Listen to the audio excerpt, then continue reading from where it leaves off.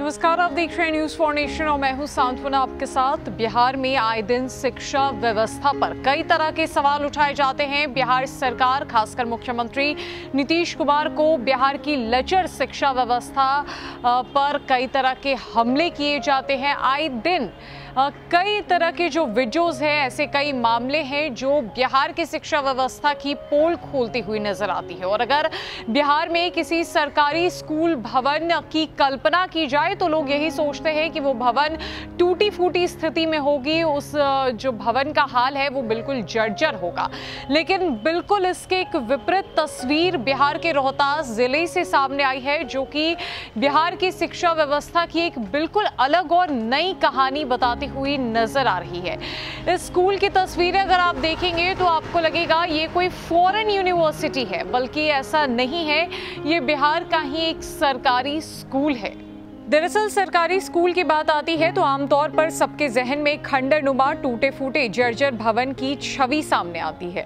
रोहतास जिला के नक्सल प्रभावित क्षेत्र में एक ऐसा स्कूल है जो खूबसूरती और सुविधाओं में स्कूलों के साथ ही कॉलेज कैंपस को भी मात देता है। स्कूल के कैंपस में प्रवेश करते ही आपको ऐसा लगेगा जैसे किसी विश्वविद्यालय या फिर किसी बड़े प्राइवेट स्कूल के परिसर में प्रवेश कर रहे हो।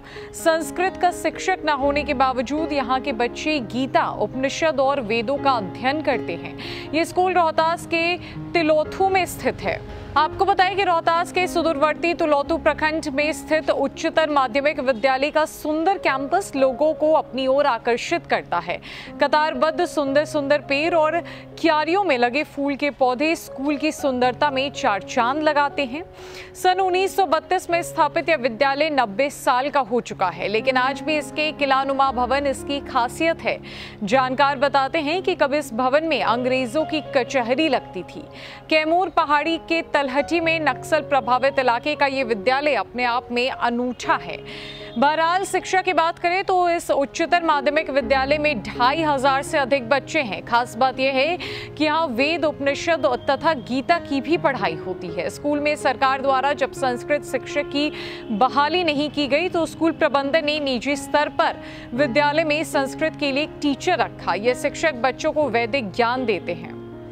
स्कूल में कई शिक्षक ऐसे हैं जो सेवानिवृत्त हो चुके हैं। इसके बावजूद वे प्रत्येक दिन बच्चों की कक्षा लेते हैं। ये शिक्षकों का समर्पण भाव है कि इस विद्यालय के बच्चे जिला में लगातार अव्वल रहते हैं। स्कूल के प्रिंसिपल मैकूराम कहते हैं कि ऐसा सबके सहयोग से ही संभव है। आने वाले कुछ महीनों में इस विद्यालय का अपना स्विमिंग पूल होगा, जहाँ बच्चे तैराकी सीखेंगे। जिला मुख्यालय से दूर नक्सल प्रभावित इलाके में होने के बावजूद यह स्कूल पूरी तरीके से व्यवस्थित है। बिहार के रोहतास ज़िले से ऐसी चौंकाने वाली तस्वीर सामने आई है, जिसने बिहार की शिक्षा व्यवस्था की एक बिल्कुल नई तस्वीर दिखाई है। स्कूल की तस्वीरें ऐसी है, मानो किसी प्राइवेट ब्रांडेड स्कूल की हो या फिर किसी अच्छे कॉलेज कैंपस की हो, लेकिन नहीं, ये एक सरकारी स्कूल का भवन है, जहाँ पर इतनी सफ़ाई मेंटेन की जाती है, इतना डिसिप्लिन मेंटेन किया जाता है, इतना ही नहीं, वैदिक ज्ञान भी बच्चों को दिया जाता है। जब सरकार की तरफ़ से संस्कृत टीचर की बहाली नहीं की गई। तब स्कूल प्रबंधन ने निजी शिक्षक को बहाल किया ताकि यहाँ के बच्चों को किसी भी प्रकार की कोई कमी ना हो और आने वाले दिनों में स्कूल में स्विमिंग पूल भी बनाया जाएगा ताकि बच्चे हर तरह की सुविधाओं से लैस हो। फ़िलहाल अपडेट में इतना ही। लगे अपडेट्स के लिए हमारे साथ बनी रही न्यूज़ फॉर नेशन में। नमस्कार।